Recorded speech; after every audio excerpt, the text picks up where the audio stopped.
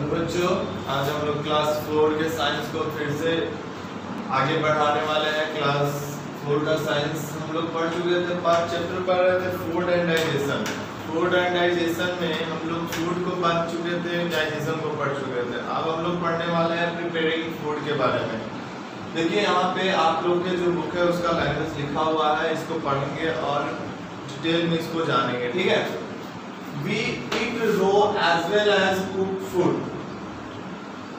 हम लोग भोजन कैसे करते हैं?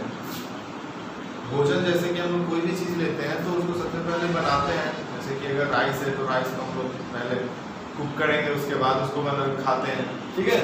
Fruit and some vegetables are eaten raw जैसे कि हम लोग का जो खाने वाला पदार्थ है, उसमें फ्रूट एंड वेजिटेबल्स है जो हम लोग खाते हैं। the fruits and raw vegetables must be washed well before eating. हमें फ्रूट्स वेजिटेबल्स खाने से पहले उनको बहुत अच्छे से धोने की ज़रूरत होती है it will free them from dust and germs जिसके वजह से उस पे फ्रूट एंड वेजिटेबल्स के ऊपर जो भी डस्ट और जम्स होते हैं, वो सारे वॉश हो जाते हैं और वो हमारे खाने के लायक बनता है। तब जा करके जब हम उसको अच्छे से बोते हैं खाने के पहले।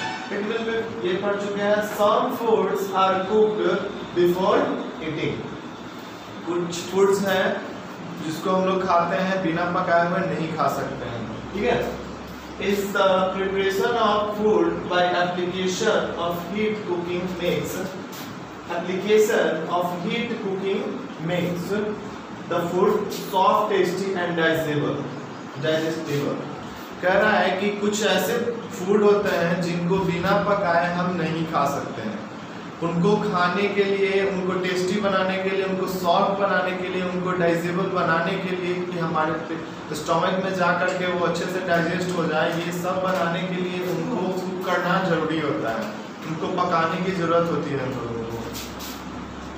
It also makes the food safer by destroying harmful germs cook को, भोजन को पकाने के बाद क्या होता है कि उसके ऊपर जितने भी जर्म्स होते हैं, वो सारे जर्म्स मर जाते हैं और वो हमारे लिए हेल्पफुल हो जाता है, हमारे हेल्थ के लिए वो हेल्पफुल होता है।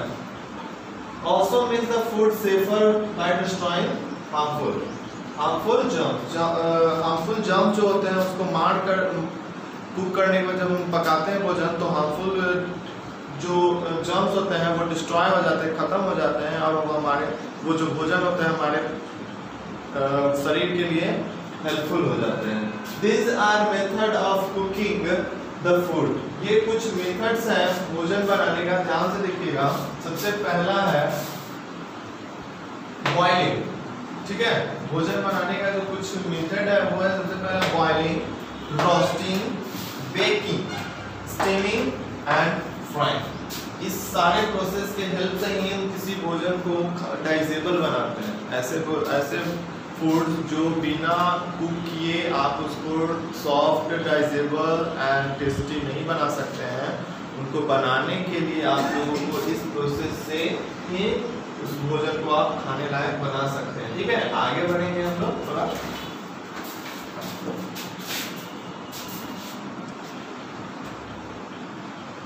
चालू करें। Things to remember while cooking food preparation food में ही आता है टॉपिक कुछ ऐसी बातों को याद रखना है हम लोगों को। Things to remember while cooking कुछ ऐसी बातों को हम लोगों को याद रखना है जब हम लोग भोजन बना रहे हो। तो कुछ बातों को याद रखना है जो हम लोगों को नीचे लिखा हुआ है। फ़र्स्ट देखते हैं क्या है। Over cooking should be avoid over cooking should be avoid हम लोगों को ओवर कुकिंग नहीं करना चाहिए किसी भी चीज़ को ओवर कुकिंग मतलब उसको कढ़ाई में डाल करके उसको फ्राई करते ही जा रहे हैं करते ही जा रहे हैं ये चीज़ नहीं करना चाहिए। Most vitamin are lost due to excessive heat हमारे वेजिटेबल्स अगर मान लीजिए बच्चों हम सब्ज़ी बना रहे हैं तो क्या करेंगे? उसको इतना ज़्यादा हीट नहीं करेंगे उसको इतना ज़्यादा कुक नहीं करेंगे कि उसके अंदर जो विटामिन हैं वो डिस्ट्रॉय नहीं हो जाए। ठीक है? उनको ओवर हीट कभी नहीं करना चाहिए। अगर आप ओवर हीट करते हो तो उनके अंदर जो विटामिन होते हैं, वो वो ब्रेक हो जाते हैं, वो खत्म हो जाते हैं। फिर वो सब्ज़ी आपके लिए, वो वेजिटेबल्स आपके लिए हेल्पफुल नहीं होंगे। आगे देखते हैं। Do not throw away the water in which germs of vegetables are soaked as it contains vitamins. देखिए हम लोग जो क्या करते हैं कि सबसे पहले मान ली कि फ़ूड बना रहा है, ठीक है ना? फ़ूड मिक्स कर रहे हैं कुक कर रहे हैं कुक करने के बाद उसमें जो हम वाटर डालते हैं वाटर डालने के बाद उस वाटर को हम लोग को कुकिंग करने के बाद उस वाटर को निकाल के फेंकना नहीं चाहिए, ठीक है? अगर आप उसको निकाल के फेंक दे रहे हो तो उसके अंदर वो जो आपके वेजिटेबल्स है, उस वेजिटेबल से निकल के वो जो विटामिन है, वो आपके वाटर में आ गए हैं, ठीक है? और वो वाटर को अगर आप फेंक दे रहे हो तो फिर आपके लिए वो हेल्पफुल नहीं होगा। तो यहाँ पे ध्यान रखिएगा, दो बातों को जाने। थर्ड नंबर हम जानेंगे while boiling proper amount of water should be added so that the water containing nutrients like minerals and vitamin should be use properly इसको फिर से समझते हैं। ये थोड़ा सा बड़ा सा लैंग्वेज हो गया, जो आप लोगों को समझने में मुश्किल होगा तो यहाँ से देखते हैं। While boiling proper amount of water हमें जब हम अपने फ़ूड को बॉईल करते रहते हैं प्रॉपर अमाउंट लाइक अगर जितना हम जिस तरह की सब्ज़ी बना रहे हैं या फिर जितना अमाउंट लिए हुए सब्ज़ी को कुक करने के लिए उतना ही हम लोग को उस, उसी के अकॉर्डिंग हम लोग को वाटर का अमाउंट भी डालना होता है उसमें ठीक है? Amount of water should be added so that the water containing nutrients like minerals and vitamins should be used properly. अब क्या होता है कि जब हम फ़ूड को प्रिपेयर करते रहते हैं तो उसके अंदर जो वाटर हम डालते हैं तो अब उसमें जितने भी न्यूट्रिएंट्स हैं, जैसे कि जो भी चीज़ बना रहे हैं हम लोग न्यूट्रिएंट्स के बारे में जानते हैं न्यूट्रिएंट्स क्या न्यूट्रिशन क्या होता है और न्यूट्रिएंट्स क्या होता है। न्यूट्रिएंट्स होता है बच्चों, जो चीज़ भी आप खा रहे हो, अब उस खाने में जो क्या क्या चीज़ है like carbohydrate proteins vitamin minerals ये सारे न्यूट्रिएंट्स कहलाते हैं, ठीक है? तो वो क्या होता है उस वाटर में न्यूट्रिएंट्स भी ऐड हो जाते हैं, उनको उसे sorry containing nutrients like minerals and vitamins will be used properly उसके बाद नेक्स्ट पर ये do not over roast and और फ्राई कभी भी भोजन को फ़ूड को ओवर रोस्ट और फ्राई नहीं करना चाहिए.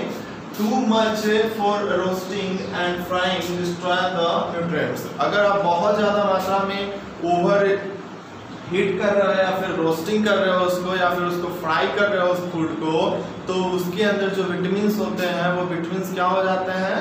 विटामिन और उनके अंदर जो न्यूट्रिएंट्स होता है हो सकता है वो कार्बो कार्बोहाइड्रेट हो सकता है वो प्रोटीन हो सकता है वो मिनरल्स हो विटामिन हो कुछ भी, जो भी न्यूट्रिएंट्स हैं, वो न्यूट्रिएंट्स ओवर रोस्टिंग और ओवर फ्राई के वजह से ख़त्म हो जाएँगे, जो कि आपके लिए बहुत ही अच्छी बात नहीं है, वो भोजन करने के बाद आपको कोई लाभ नहीं होने वाला है, आपके शरीर को उससे कोई फ़ायदा नहीं होने वाला है। तो ये चीज़ आप लोगों को ध्यान रखना चाहिए, जब आप कुकिंग फ़ूड का, आप भोजन को बना रहे हैं प्रिपेयरिंग फ़ूड आप अगर कर रहे हो तो ये चीज़ को आप लोग को ध्यान रखना होगा। होमवर्क में बच्चों, आप लोग को बताते हैं, होमवर्क में सेम चीज़ है आप लोग का things to remember while cooking ये चीज़ आप लोगों को याद करना है, ठीक है? ये चीज़ आप लोगों को याद करना है। यहाँ से यहाँ से एक बार आप इसको अच्छे से इस वीडियो को देख लीजिए और इसको अच्छे से पॉज करके इसमें जितने भी बातों को लिखा गया है, उस बातों को लिख लीजिए। ठीक है?